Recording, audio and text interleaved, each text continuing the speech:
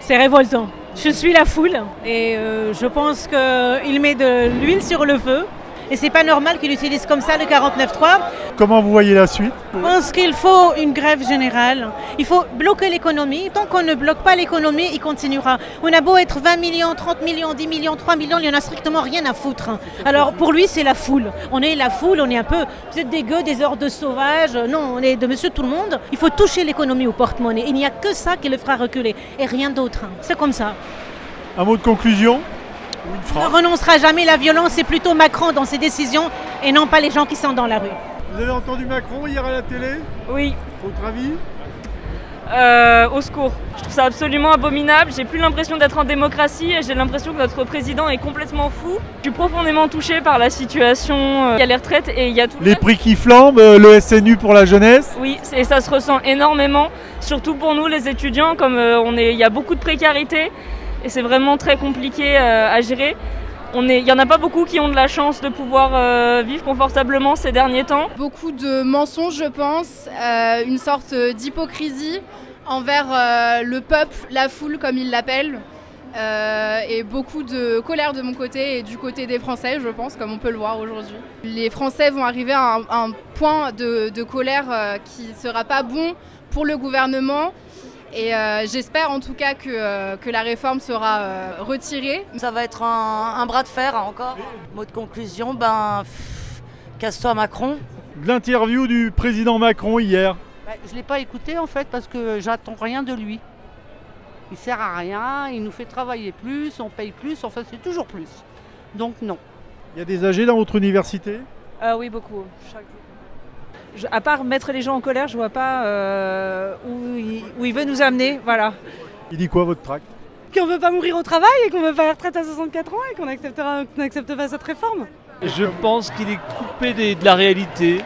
Je pense qu'il est, il est- il est méprisant. Je pense qu'il ne prend pas la mesure de, de- de l'état du pays. On aspire à une reprise en main des- de, de- de- de l'avenir du pays par la base. Ça, c'est très bien. Ça, c'est... Qu'est-ce que vous avez pensé du discours de Macron hier? Bon, à vomir, enfin c'est extrêmement énervant. C'est, on n'est jamais entendu et une fois de plus, il essaye de passer en force et alors que plein de monde attendait un discours d'apaisement et de montrer qu'il avait compris, bah c'est exactement l'inverse.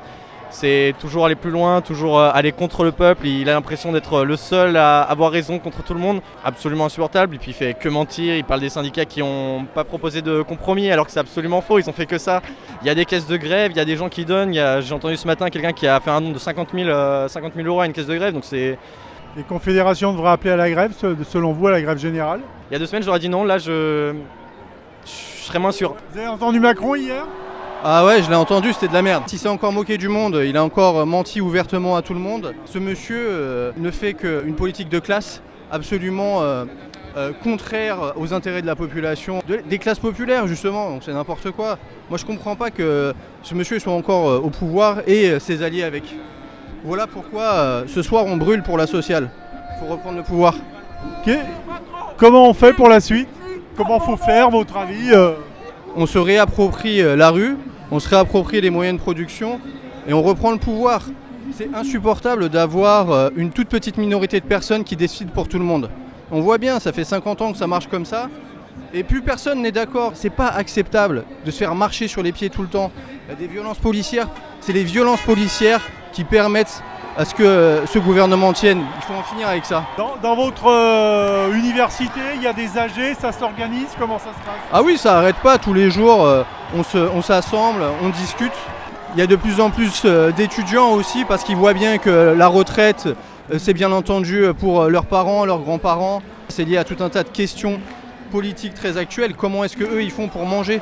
Comment est-ce qu'ils vont faire pour trouver un boulot?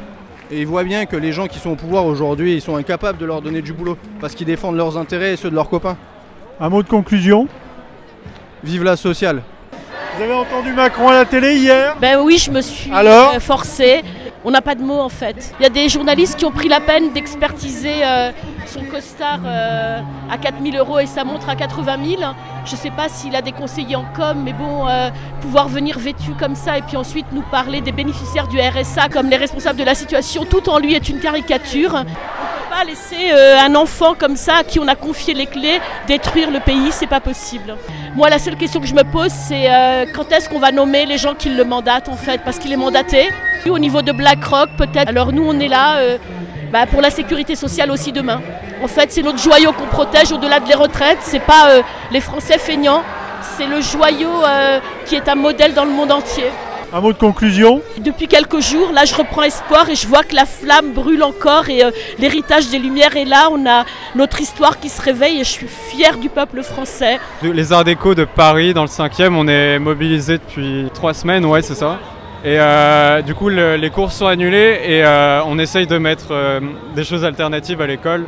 Donc, euh, plein d'ateliers euh, par rapport aux manifs, justement. Déjà, il faut faire euh, abandonner la réforme, voilà, juste dans un point de vue démocratique. Je pense que pour euh, se faire écouter, il faut faire la grève, voilà. Faut- C'est pour ça que les, les éboueurs euh, ont fait la grève, les cheminots, etc. Vous avez entendu Macron hier? Oui. Votre avis? Il se fout de la gueule du monde, il prend, euh, il est, il est dédaigneux, il, est- il a été élu par défaut et c'est ça le problème. Comment vous voyez la suite pour qu'il recule? Bah, la grève générale, moi j'ai fait 60, moi j'étais en 68, j'avais 18 ans, j'ai connu ça. Et ben voilà, et si on si on se bat pas, on n'aura rien. Ils savent bien que ils, ils pensent que les gens vont vont se calmer, etc. Mais non. On prend pas le chemin. on. Bah, non, c'est surtout les, les jeunes sont là. Les, les jeunes sont là et, et moi j'ai mes- moi j'ai ma petite fille qui est là, j'ai mon fils qui est là. Bon voilà, trois générations. Joli score. Un mot de conclusion Un mot de conclusion, j'espère qu'il va nous la retirer cette retraite à 64 ans. Vous avez entendu Macron hier Non, parce que je le boycotte, parce qu'il dit que des conneries. Comment vous voyez la suite pour qu'il retire? Qu'est-ce qu'il faut? Qu'est-ce qu'il faudrait faire? Euh, si je le dis, euh, bah moi, une révolution. Quand on a été élu avec aussi peu de voix, je ne sais pas comment on peut s'estimer légitime, c'est scandaleux. En tête de cortège, il crie grève générale. Vous en pensez quoi Bah, il n'y a que ça qui peut le faire réagir en fait. Enfin, ils, se foutent de nous, ils écoutent aucun syndicat. Il y a le, enfin, au-delà des syndicats classiques, il y a le président de la CFE CGC qui quand même est un syndicat où il y a des ingénieurs, où il y a des gens qui font des projections financières, qui s'occupent dans des domaines très pointus. Et ils le disent, eux, le problème des retraites, là, c'est un faux problème. Et euh, deux, deux ans de plus pour les petites, deux ans de plus pour tout le monde, c'est pas, c'est injuste. Si je peux juste m'exprimer sur une chose, que les gens, les gens relisent la sécurité sociale et on verra l'histoire de la sécurité sociale et là on s'apercevra vraiment qu'on est spolié dans tous les sens. C'est tout. On va continuer. Révolution. On va continuer. Révolution. Et on lâchera pas.